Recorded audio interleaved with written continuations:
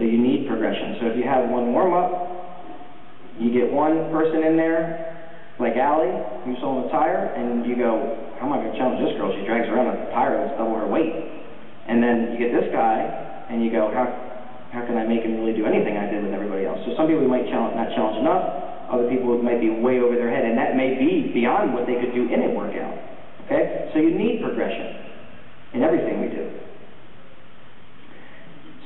This is kind of one of the components of the warm-up that I developed that we use that we're going to get into. You want to use central nervous system activation. We'll talk about that. Our nervous system is always on.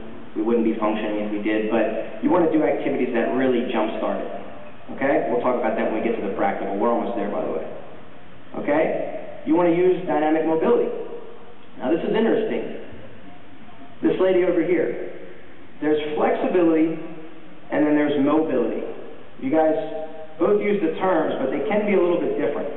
Okay? Do you guys know the difference or want to take a shot at it? Or just want me to tell you?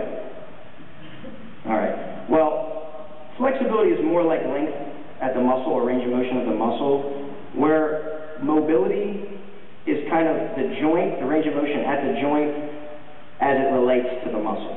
Okay, I, we actually do, what you'll see it in here, but we actually do some what we call self-joint mobilization. But there is a big difference between, this is a whole other lecture, so I won't get too much into it, but there's a big difference between range of motion at your muscle and available range of motion at the joint. So if you're yoga, anybody do teach yoga? Okay, you ever notice some people, you know, everybody's in the same class, right? Some people get more flexible every week and everything is better, and some people just never seem to get any more range. Well, those are the people that actually may have joint restrictions and not necessarily muscle restrictions. So the joint is never allowing muscles to lengthen, but that's a whole, whole other workshop. Okay? Actually, let me show you guys um, a joint mobilization.